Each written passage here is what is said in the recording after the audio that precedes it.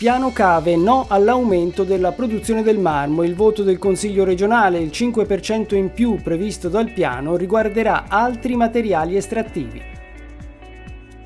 Torna in piazza il bruscello poliziano a Ferragosto, la messa in scena di Lisistrata nella piazza del borgo di Montepulciano. L'aumento del 5% della produzione delle cave in Toscana non riguarderà il marmo, ma interesserà solo gli altri materiali lapidei. È questo l'aggiornamento del piano cave deciso dal Consiglio regionale della Toscana. Ad introdurre lo stop all'aumento di produzione del marmo è stata una risoluzione del Partito Democratico che impegna appunto la Giunta a non rivedere gli obiettivi di produzione sostenibile dei bacini marmiferi. La risoluzione, che chiede anche di attivare sulla variante percorsi di confronto e partecipazione, è stata approvata con i voti favorevoli della maggioranza e dei 5 Stelle con l'astensione dei gruppi di centrodestra.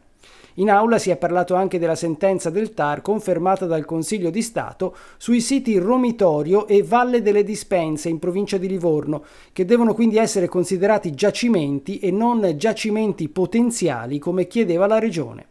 Sentiamo le interviste, ad iniziare dal capogruppo del PD Ceccarelli. Ma relativamente all'informativa per eh, la variante eh, dell'aumento del 5% della possibilità di escavazione, la nostra posizione è una posizione favorevole perché si tratta di una proposta che non è una variante al piano cave, ma è una variante attuativa di un dispositivo del piano cave, piano che assieme alla legge 35 sono stati ritenuti comunque un passo in avanti significativo anche verso la sostenibilità di questa attività che è appunto impattante sicuramente ma anche eh, necessaria.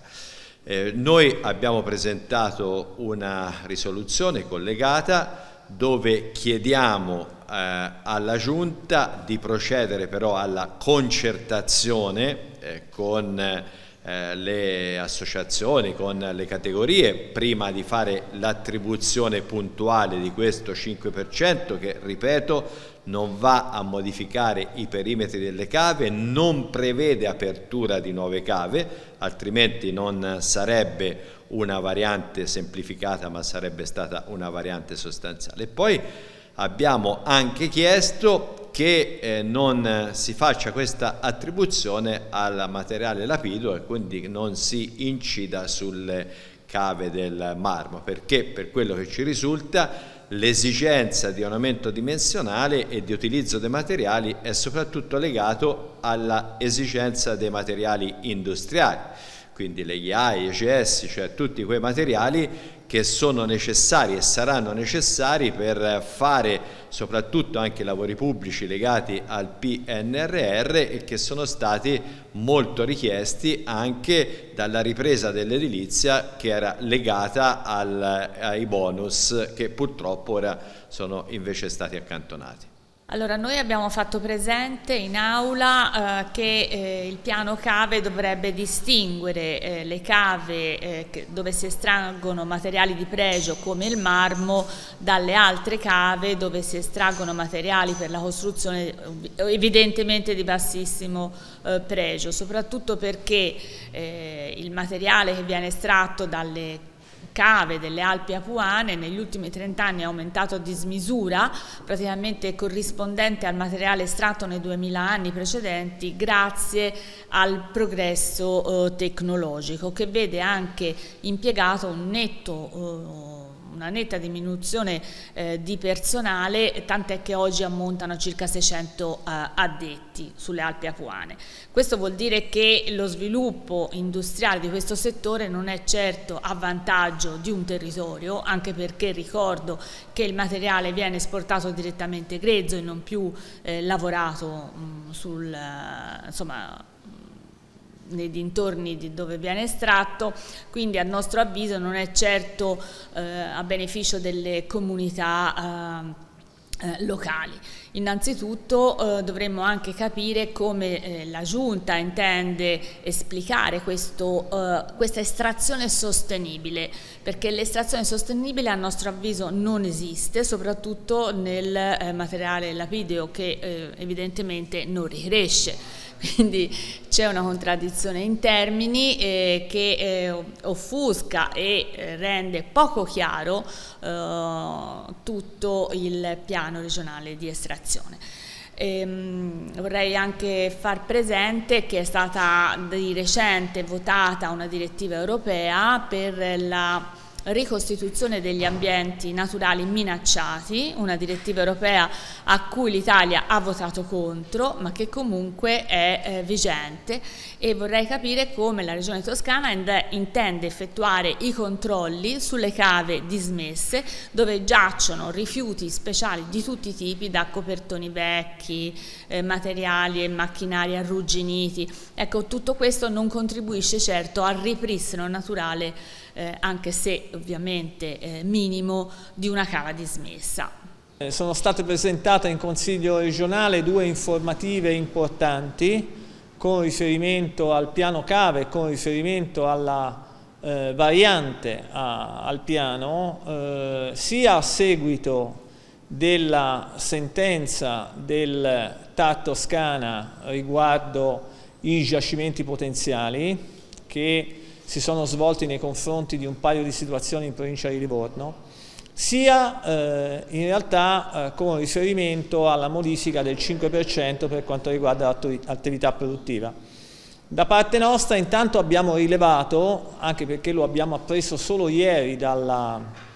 dalla discussione operata da parte dell'assessore Baccelli, negli atti non vi era, che nel frattempo è intervenuta anche la sentenza del Consiglio di Stato che ha confermato la sentenza del TAR respingendo il ricorso della Regione Toscana e quindi confermando che le competenze per quanto riguarda eh, la definizione degli atti a giacimenti o giacimenti potenziali è alla Regione Toscana e non può essere rilasciata ai comuni. E questo è un elemento che per noi è importante perché apre la possibilità non tanto alla all'utilizzo dello strumento della variante, ma probabilmente alla necessità di rivedere ampiamente eh, in modo generale il piano cave, perché probabilmente il tema che ha riguardato questa specificità delle due situazioni di Livorno è molto probabilmente largamente più ampia. In secondo luogo, per quanto riguarda l'incremento del 5% dell'attività produttiva, fermo restando l'approccio positivo che sicuramente la Lega ha nei confronti delle filiere produttive, nei confronti dei riscontri in termini economici e di posti di lavoro che certamente queste attività garantiscono, abbiamo però messo in evidenza come sia importante valorizzare il tema della partecipazione e il tema delle audizioni, perché da quello che abbiamo visto le situazioni di incremento potrebbero riguardare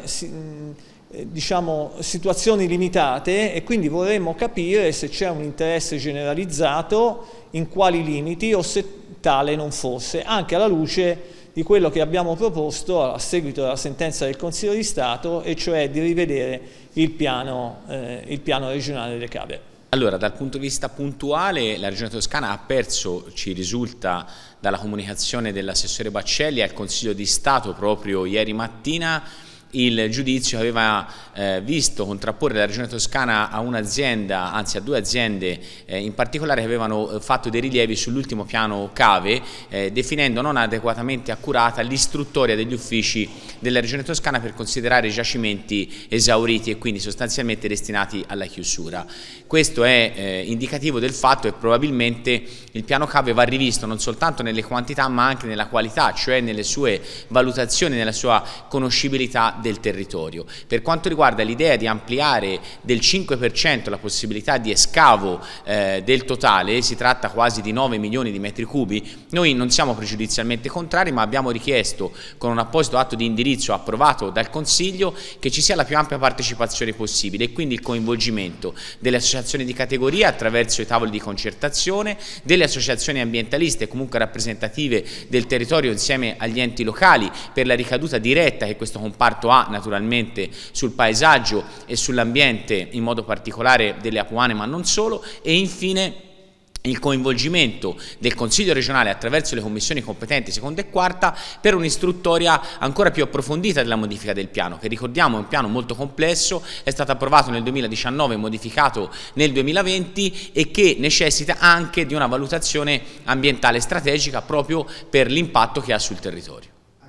Piano Cave è un atto importante, l'aggiornamento dello stesso per noi è dirimente, è importante, siamo convinti che l'attività edilizia in Toscana, l'attività delle infrastrutture, l'attività delle opere pubbliche meriti e necessiti un aggiornamento di un piano che già all'epoca noi avevamo contrastato in termini politici perché ritenevamo che i riferimenti presi come punto di partenza della quantitativi dei materiali da poter scavare fosse un punto di riferimento errato, come tale si può adeguare, si può migliorare, si può fare qualcosa di più, chiediamo che nel farlo questo avvenga con un atto che abbiamo depositato coinvolgendo le associazioni di categoria.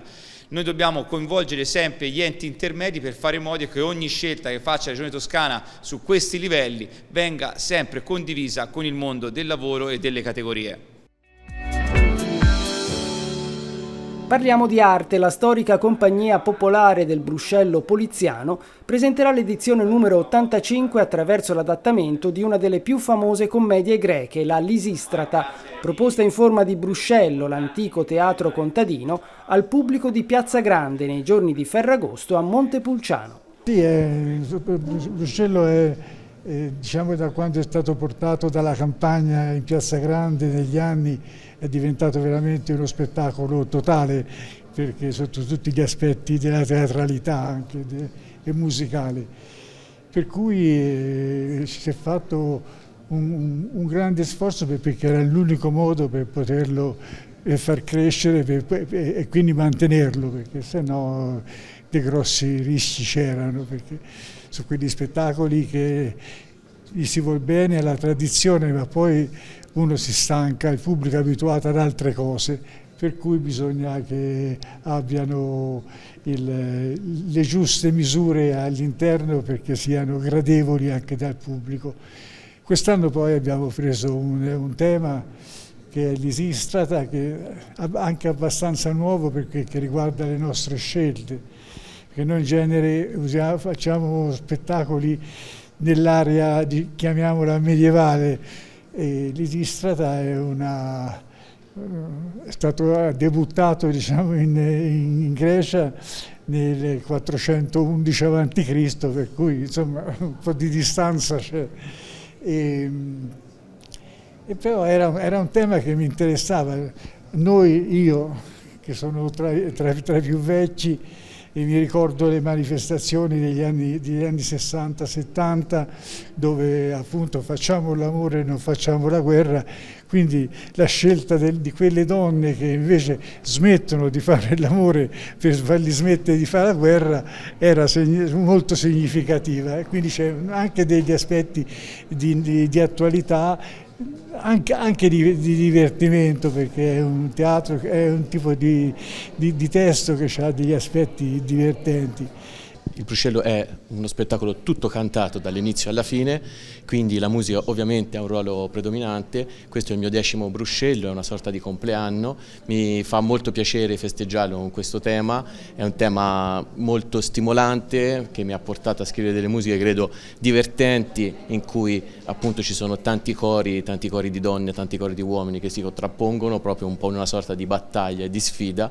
E eh, sono eh, presenti anche i bambini bambini a cui io tengo molto, tanti bambini da 4-5 anni in su fino ai più grandi cantanti che arrivano anche a essere fino a ottantenni. Quindi una musica che credo possa coinvolgere, coinvolgere piacere e essere divertente. Il testo è interessantissimo, attualissimo e dunque sono molto contenta di ripartecipare di nuovo alle coreografie. È importante far muovere il coro, far muovere le mie ragazze ma anche i bambini tutti insieme è, è importante, è una bella situazione. Poi Piazza Grande è fantastica e poi per l'85 anniversario del Bruscello riessere con loro mi fa onore. E noi vogliamo mettere sicuramente in evidenza con questo testo non solo il divertimento che c'è comunque dietro la commedia di Aristofane ma sicuramente l'importanza che eh, il ruolo della donna ha nella società attuale. Eh, molto spesso si dice che la guerra la combattono gli uomini ma la perdono le donne e credo che questo testo invece ci dia una speranza, una speranza